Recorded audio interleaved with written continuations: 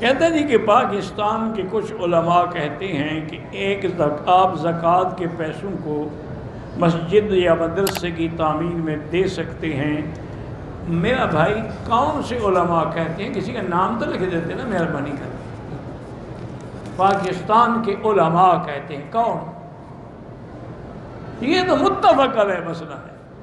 एक कुरान का मसला है कि ज़क़़त जो है उसकी मद मुन है। इन फ़क़रामसाकिन आमिन व फिर रिकाब। तो उसके अलावा किसी दूसरी जगह पैसा लग ही नहीं सकता। न तामीर में, न मस्जिद में, न मदरसे में, न हस्पताल में, न किसी चीज़ में। कोई ओलमा नहीं कहते, ये आपने खुद घड़ा हुआ या जो दाढ़ी रख ले, तुम्हारे नज़दीक वो मौलवी होता है। ये तो कुरान का मसला है, इसका कौन इनकार कर सकता है अल्लाह के बंदे हाँ एक तरीका मदरसों वाले करते हैं कि मसलन मदरसे में कोई तामीर की जगह तो वो ज़क़़त के पैसे तलबा को दे देते क्योंकि ज़क़़त में ये भी शर्क है कि तमलीक हो, यानी उसको मालिक बनाओ पैसों का।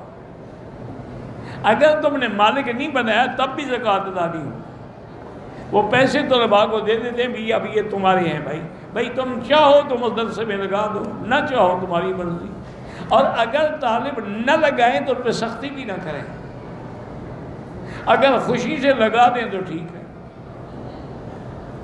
अच्छा बाद मदरसों में एक और भी मैंने देखा था, यूरोप में भी देखा, अमेरिका में भी देखा, अफ्रीका में भी देखा, उन लोगों ने भी एक अच्छा तरीका किया हुआ है।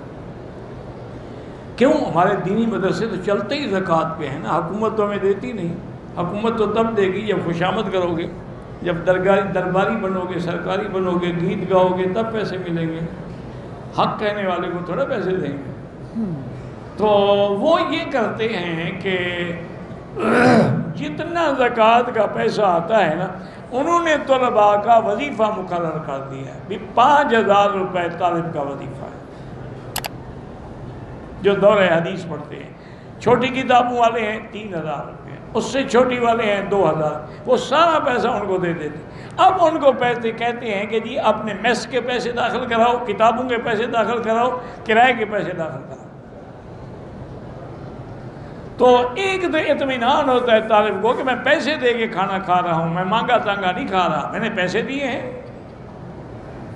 और मेनू के मुताबिक मैं खाना लूँगा क्योंकि मैं तो पैसे दे रहा हूँ। दूसरा उसको तसल्ली होती है उसका ज़मीन कभी कमज़ोर नहीं होता। क्योंकि जो लोग टुकड़ों पर बनते हैं ना, वो बड़े होकर हक नहीं कह सकते। हक वही कहता है जिसने अपने घर से खाया तो उन्होंने ये इंतज़ाम भी बड़ा अच्छा किया कि मदरसा भी महफूज हो गया, ज़क़़त सबको तकसीम हो गई। अब वो अपने तमाम मदरसे के ख़र्चे जो हैं, वो बाकायदा जाके बिल जमा करें